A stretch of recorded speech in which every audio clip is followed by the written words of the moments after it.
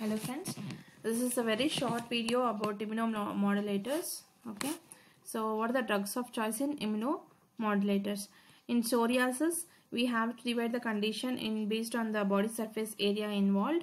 So if it's a limited disease that is when body surface area is less than 10% we give topical steroid plus vitamin D analog. This is also topical. So both vitamin D and steroid we give topical that vitamin D analog is uh, calcitriol or calcipotriene.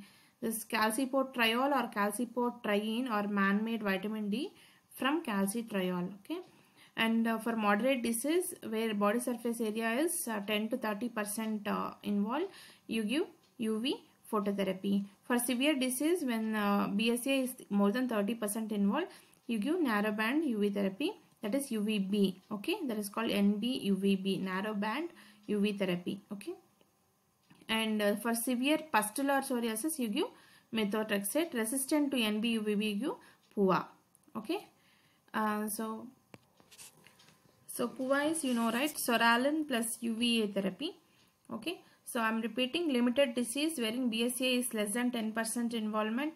You give topical steroid and topical vitamin D that is calcitriol or calcipotriene for moderate wherein BSA is 10 to 30% involvement you give UV phototherapy and severe disease that is greater than 30% of uh, uh, BSA anything above 30% you give narrow band UVB therapy. First we will try UVB therapy and when uh, narrowband UVB therapy is resistant I mean the patient is resistant to narrow band UVB therapy then you try PUVA.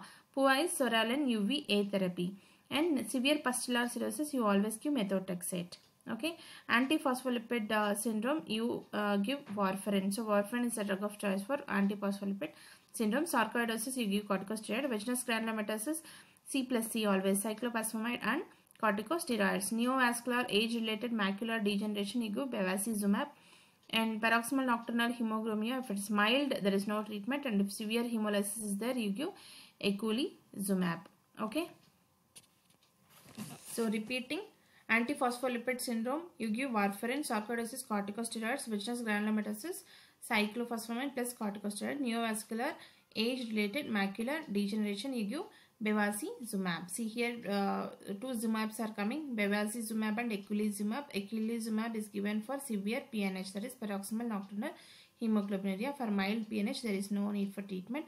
For neovascular, age-related macular degeneration, you give bevacizumab okay? And for psoriasis uh, you just remember it's uh, less than 10% 10 to 30% greater than 30% resistant and uh, pustular. So for um, you know mild or limited disease you give topical steroid plus topical vitamin D that is calcipotriol or calcitriol or calcipotriene. And uh, for uh, moderate you give UV phototherapy UV phototherapy. And uh, for um, severe you give narrowband UVB therapy. For resistant you give PUVA. And for severe pustular you give methotrexate. Thank you. Good luck. I'll come with the next video soon.